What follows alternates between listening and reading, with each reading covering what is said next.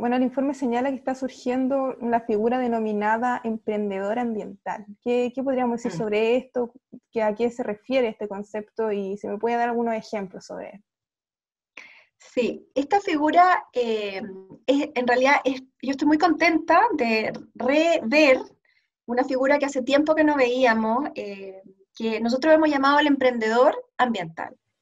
Es, esta palabra la sacamos de la literatura, que habla de eh, que a veces, cuando nosotros observamos la literatura del caso norteamericano en concreto, que cuando observa por qué hay congresos que son capaces de sacar mucha legislación de relevancia ambiental positiva, ven que hay detrás de eso, hay figuras emblemáticas que tienen nombre y apellido que han trabajado a pulso, como que diría, dejándolo todo en la cancha para que estas leyes se aprueben.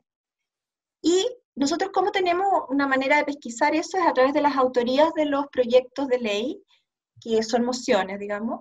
Y aquí nosotros quisimos destacar en particular eh, el rol del emprendedor ambiental del senador Durresti, eh, que es del Partido Socialista, porque ha sido bien interesante notar que eh, humedales como tema general no era un tema que formara parte de la agenda del gobierno. Los cuatro proyectos de ley que están en tramitación, uno de los cuales ya es ley, son todos de autoría eh, de parlamentarios y el senador eh, Durresti, si mal no recuerdo, está en tres de ellos.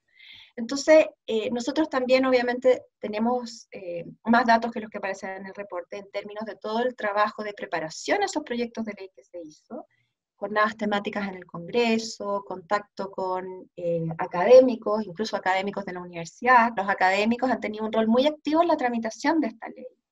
Y ha habido una labor muy bonita de parte de un grupo de parlamentarios, dentro de los cuales, como dije, pero también hay otros que han empezado incipientemente a tomar este rol de emprendedores en el sentido de tener temas que quieren sacar adelante en proyectos de ley, contactarse con científicos, con académicos y al final del día sacar estos proyectos, como es el caso de humedales urbanos, que vio la luz como ley en un proyecto en un tiempo extremadamente corto.